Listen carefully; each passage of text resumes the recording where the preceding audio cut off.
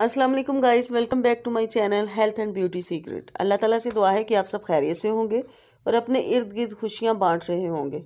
मैं आज की अपनी इस वीडियो में चीनी का एक ऐसा नुकसान आपसे डिस्कस करूँगी जो आप पहले से नहीं जानते।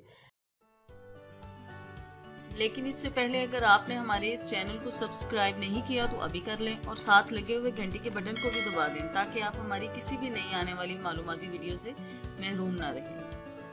अपने मुदाफ़ती निज़ाम को मज़बूत रखना बज़ाहिर काफ़ी मुश्किल नज़र आता है, जिसके लिए वर्जिश, नींद की अच्छी आदात, मतवाजन गज़ा और तनाव को काबू में रखना आसान नहीं लगता।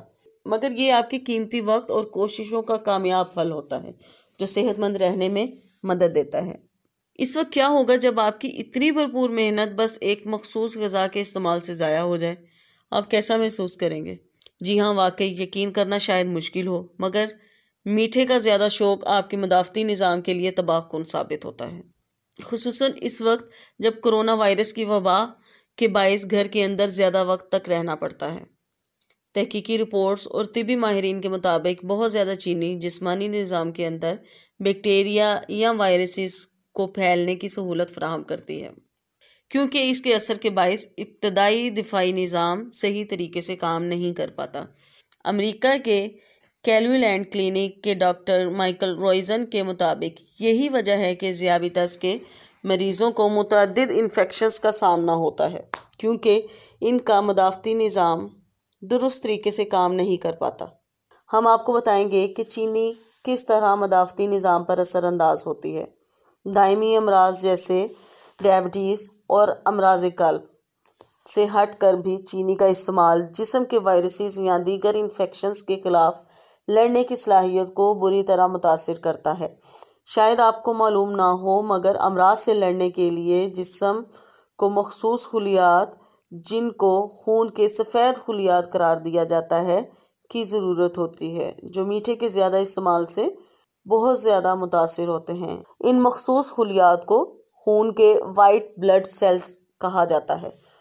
फ्रूट फ्लाइज पर होने वाली एक तहकीक में दरियाफ्त किया गया है कि मीठे के ज़्यादा इस्तेमाल के नतीजे में खून के सफ़ेद खलियात अपना काम करने से कासिर हो जाते हैं और वायरसेस और बैक्टीरिया पर काबू पाने में नाकाम रहते हैं। एक और तहकीक में दरियाफ्त किया गया है कि हाई ब्लड शुगर के नतीजे में डायबिटीज़ के मरीज़ों में इन्फेक्शन से लड़ने में मदद वाले निज़ाम मुतासर होते हैं। ज़्यादा चीनी वाली गज़ाओं को डायबिटीज़ टाइप टू का बायस समझा जाता है, यानी ज़्यादा मीठा आपको डायबिटीज़ का शिकार बना सकता है। और कोविड नाइन्टीन के शिकार अफराद अगर डायबिटीज़ के शिकार हों तो इनमें संगीन पेचीदगियों का ख़तरा ज़्यादा होता है। इस वीडियो में हम आपको बताएँगे कि कितनी चीनी मदाफ़ती निज़ाम को कमज़ोर बना सकती है। एक तहकीक में बताया गया है कि रोज़ाना सिर्फ़ पचहत्तर ग्राम चीनी का इस्तेमाल ही मदाफ़ती निज़ाम को कमज़ोर बनाने के लिए काफ़ी है। और एक बार खून के सफ़ेद खुलियात मुतासर हो जाएँ तो माना जाता है कि इससे मदाफ़ती निज़ाम पाँच घंटे के लिए सुस्त हो जाता है।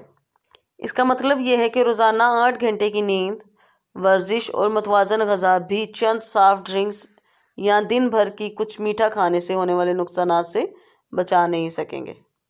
ये तहकीक 1970 की दहाई में सामने आई थी, मगर 2011 की एक तहकीक में भी इसके नतज का जायज़ा लेने के बाद दरियाफ्त किया गया था कि चीनी का ज़्यादा इस्तेमाल वायरसेस और बैक्टीरिया के हवाले से मदाफ़ती निज़ाम के रद्द अमल को कमज़ोर कर देता है।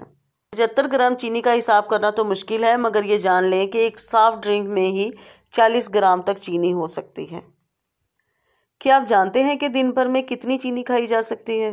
आलमी इदारे सेहत और अमेरिका के सेहत के इदारे सी ने मशवरा दिया है कि रोज़ाना छः चाय के चम्मच या पच्चीस ग्राम से ज़्यादा चीनी का इस्तेमाल ना किया जाए। इस मकदार में वो मिठास भी शामिल है जो आपकी चाय में मौजूद होती है, जबकि फास्ट फ़ूड में भी मिठास काफ़ी होती है। अगर आप मतवाजन गज़ा के साथ चीनी के इस्तेमाल को हद में रखें, यानी 25 ग्राम रोज़ाना तो मदाफ़ती निज़ाम ज़्यादा बेहतर तरीके से काम करने के साथ आपको अमराज से बचाएगा। शायद आप जानते ही होंगे कि मज़बूत मदाफ़ती निज़ाम कोरोना वायरस का शिकार होने से तो नहीं बचा सकता, मगर इसके जानलेवा असरा से ज़रूर किसी हद तक बचा सकता है। आज के लिए बस इतना ही। अगर आपको मेरी ये वीडियो पसंद आए और इस वीडियो से आपकी मालूम में इजाफा हुआ है तो प्लीज़ इसे लाइक, शेयर और कमेंट करना ना भूलें। और अगर आप मेरे इस चैनल पर नए हैं तो मेरे इस चैनल को ज़रूर सब्सक्राइब करें।